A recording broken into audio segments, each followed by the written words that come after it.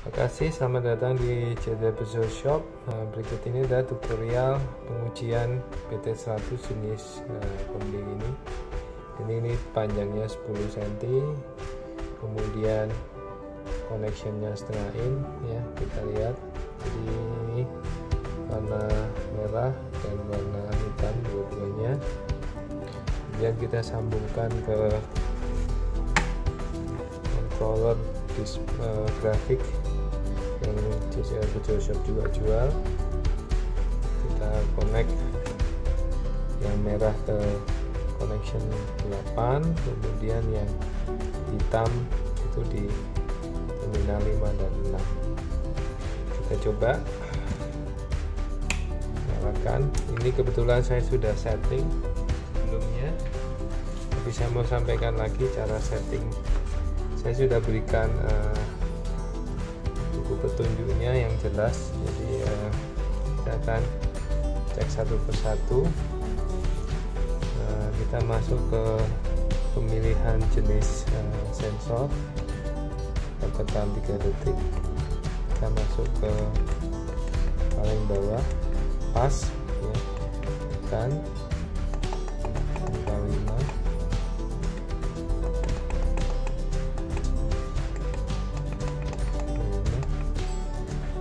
set SN ya sudah kemudian tekan.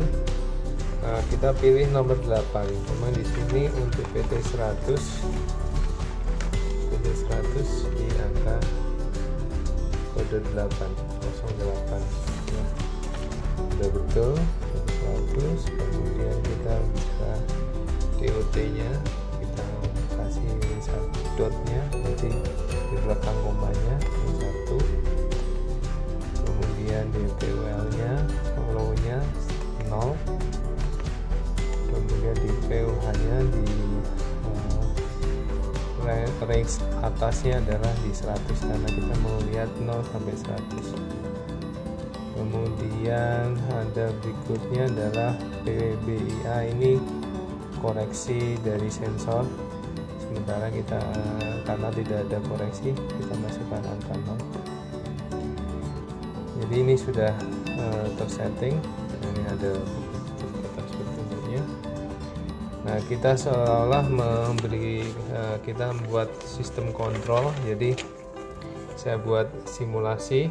Jadi PT100 ini mengkontrol heater uh, dan uh, heater connect ke dalam uh, sistem kontrol ini.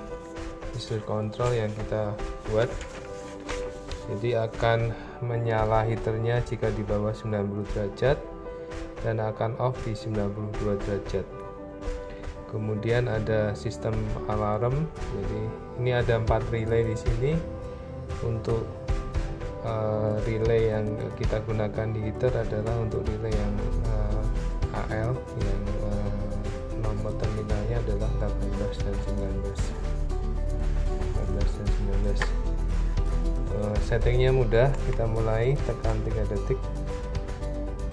AH nya jadi sini AH kita setting di 95 sudah kemudian kita tekan TH jadi diferensialnya kita tekan 0,1 kemudian AL nya kita setting di 90 jadi mulai start timer untuk uh, sorry start uh, heater itu di 90 derajat kemudian dia 90 sampai 90 derajat dia akan menyalakan heater.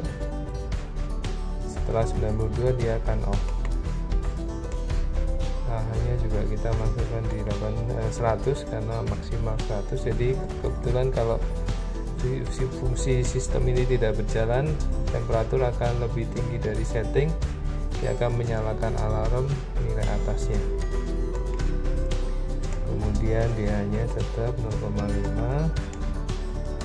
ALL nya 89 jadi kalau heaternya tidak jalan di bawah turun di bawah 90 dia akan menyalakan alarm juga di 89 ALL nya juga dia masuk di ALL nya sama itu diferensial nah kita tekan.